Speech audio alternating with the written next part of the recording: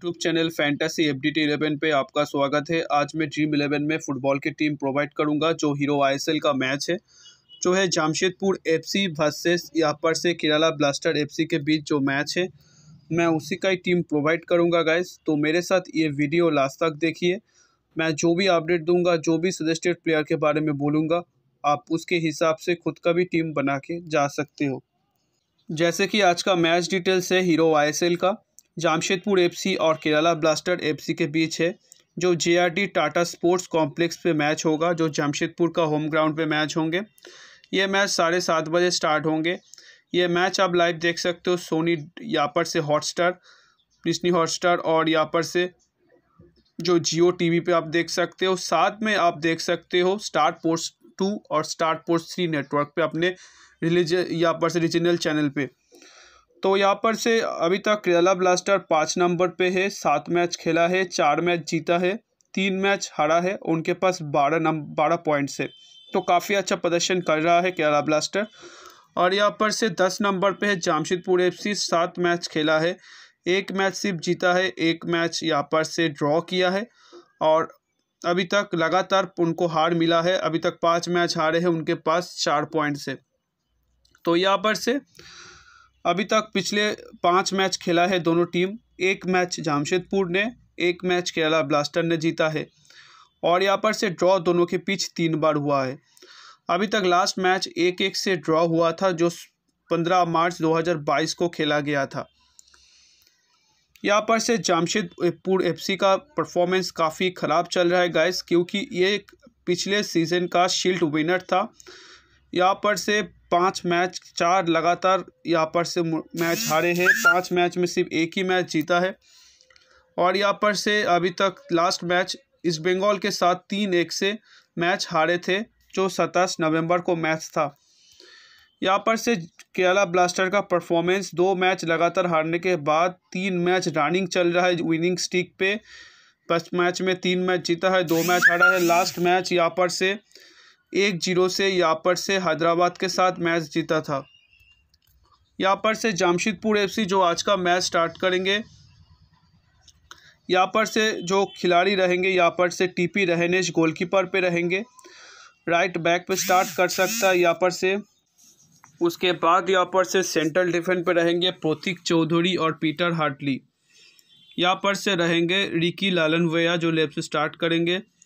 और दो यहाँ पर से जो सेंट्रल डिफेंस पे रहेंगे हरिसन सोयर और जितेंद्र सिंह। मिडफील्ड पे तीन खिलाड़ी स्टार्ट करेंगे एज ए शकील शाहिल जो यहाँ पर से लेफ़्ट से स्टार्ट कर सकता है।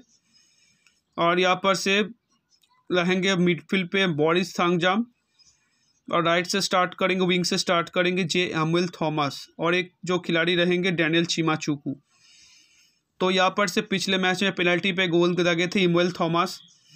ये काफ़ी अच्छा खिलाड़ी रहेंगे। ऐसे ही यहाँ पर से डैनियल चीमाचू को अच्छा चॉइस रहेगा कि लेकिन उतना अच्छा सक्सेस उनको नहीं मिल रहा है। बॉडीज इंपॉर्टेंट है।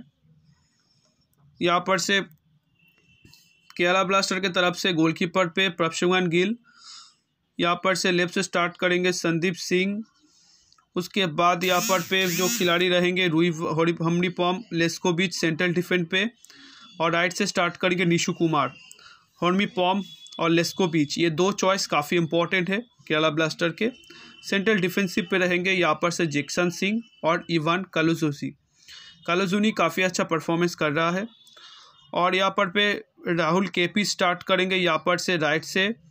लेफ़्ट से स्टार्ट करेंगे शाहल यहाँ पर से राहुल के पी अब्दुल समाद और आदरियान लूना ये तीन खेलेंगे यहाँ पर से मिडफील्ड पे। लूना स्टार्ट करेंगे यहाँ पर पे। जो लेफ़्ट से राइट से स्टार्ट करेंगे राहुल के पी और यहाँ पर से सहल अब्दुल समाद जो मिडफील्ड पे रहेंगे, और यहाँ पर से एक मात्र स्ट्राइकर रहेंगे डिमिट्रिस डायमागंटोस।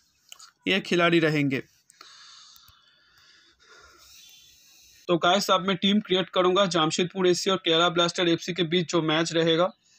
गोलकीपर ऑप्शन पे दो चॉइस रहेंगे, एक है प्रभसुगन गिल और एक है टीपी रहनेश दो चॉइस रहेगा। मैं यहाँ पर से टीपी रहनेश को पिक कर रहा हूँ। आप यहाँ पर से गिल के साथ जा सकते हो।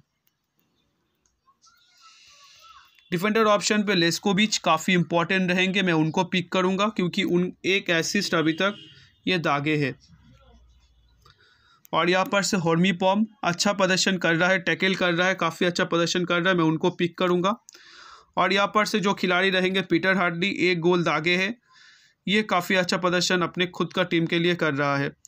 तो यहाँ पर से ये तीन खिलाड़ी को मैं डिफेंडिंग से पिक करूँगा।